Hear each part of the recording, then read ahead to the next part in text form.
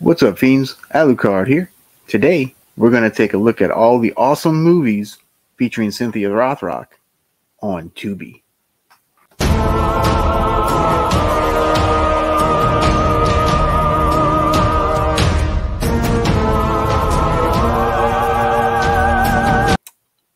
All right, I know it's not horror, but these are action cult movies, so I do know that a bunch of you guys are fans, just like I am. So we're going to take a look and see what we can stream right now on Tubi. So here we go. We have Cynthia's first movie, Yes, Madam, from 1985. Co-stars Michelle Yeoh. Uh, they are a pair of detectives uh, kicking butt and taking names. And if you look down below here, it says you may also like In the Line of Duty 2, The Super Cops. And this is actually the very same movie. Uh, yeah, it's under two different titles, but it is actually the same movie. So you can pick which one you want to watch. They're both the same. Um, I've kind of looked at both of them, and they are the same movie.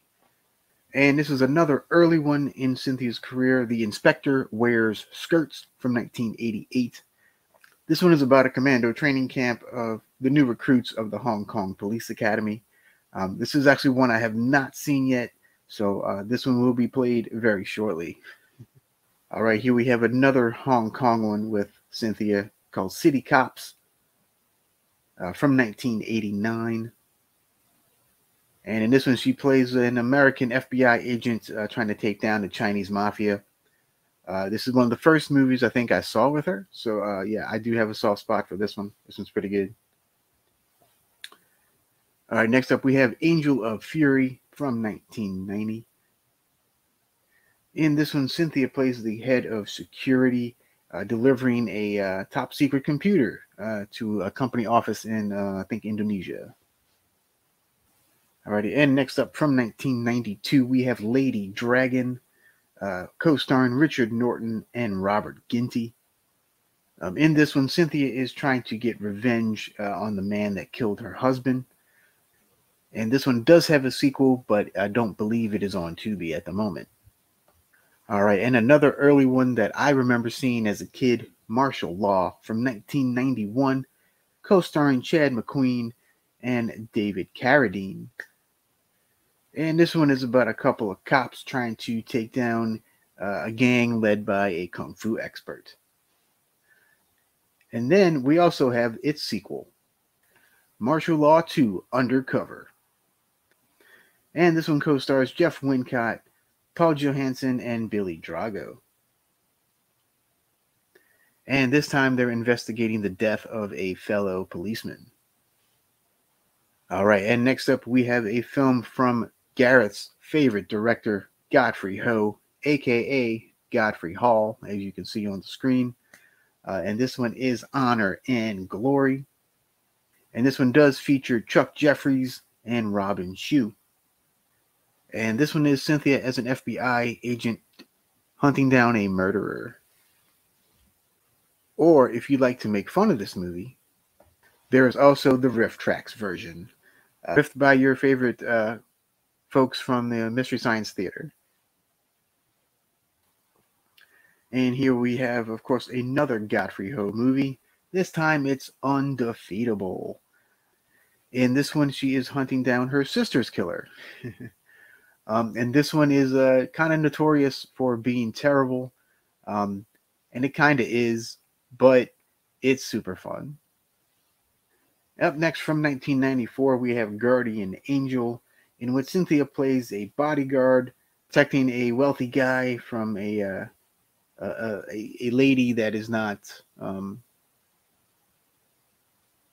quite all there. Put it that way. All right, next up we have 1996's Sworn to Justice. This is the uh, this is the sexy Cynthia Rothrock movie, and it does co-star Tony LoBianco and Kurt McKinney and Brad Dourif. So in this one, Cynthia plays a psychologist uh, who kind of has some uh, ESP, and she again is getting revenge on the uh, the folks that killed her sister and nephew, I believe. All right, now we start the the rest of these. I don't believe I've seen. So we got from 1997 Night Vision, and it does co-star Fred Williamson and Robert Forster. And in this one, it looks like Cynthia is the rookie partner, uh, and they're hunting down a serial killer who records uh, his victims' deaths. All right, next up we have 2013's Mercenaries. I've heard this is sort of the female version of the Expendables. And it is directed by Christopher Douglas Olen Ray, Fred Olen Ray's son. And it does co star Vivica A. Fox, Zoe Bell, Kristanna Loken, and Brigitte Nielsen. And all these lovely ladies play a team of elite commandos trying to rescue a dignitary. And then Cynthia started doing some family friendly films, including The Martial Arts Kid from 2015.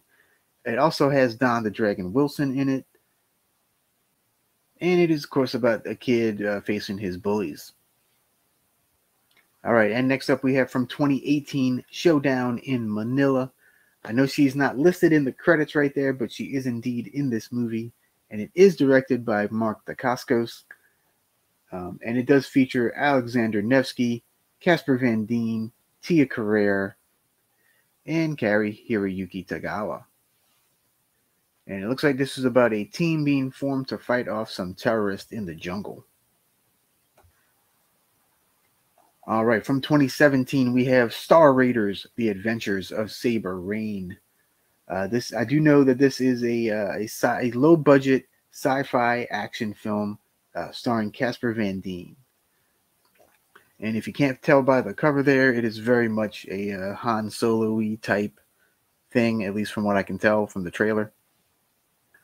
All right, and back to the family friendly stuff. We have a doggone Hollywood directed by Jim Wynorski, who, yes, even Jim Wynorski has done some family features. And I mean, who doesn't like a good uh, kid dog movie, right? All right. Also from 2017, we've got Death Fighter, co-starring Don the Dragon Wilson. And this is about a cop going after one of Thailand's most dangerous criminals.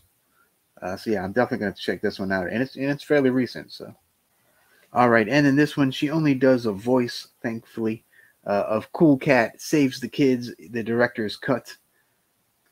Also featuring voices of Vivica A. Fox and Erik Estrada. I have no idea what this one is really like. I, I'm scared to watch the trailer. All right, and the final movie that she's in, there there are more, so stay tuned. But the last movie is Fury of the Fist and the Golden Fleece. And this one also has Michael Dudikoff, Richard Grieco, and Danny Trejo. And this one is a comedy. I believe Cynthia's part is quite small, maybe even a cameo. Uh, it does. This does seem to be a campy uh, exploitation flick kind of deal. All right, and Cynthia is also in a mini series on Tubi. She's in Diary of a Lunatic, and it does involve something about parallel universes, and that's really kind of all I know. And there's only three episodes, so there you go. All right, and she's also involved in three documentaries on Tubi. First up, we have the Martial Arts History Museum biography of Cynthia Rothrock. Came out in 2019, and it's only a half an hour long. Uh, there are a series of these on Tubi. This one focuses on Cynthia. All right, and this one is a compilation of sorts. It is Top Fighter 2 Deadly China Dolls. So it does feature footage from uh, a few of Cynthia's movies. Uh, so yeah, nothing new, but if you just want highlights and some fighting, this is the one for you. And finally, we have Fist of Fury from 2016. This one is hosted by Cynthia Rothrock. Again, it's sort of a clip movie, uh, and, it, and it is directed by Charles Band. Yep, so there you go. Those are the movies that are currently streaming on Tubi featuring the one and only Cynthia Rothrock. Uh, let me know which ones you've seen. Let me know which ones you're going to watch. And until next time, adios, Bela Lugosi.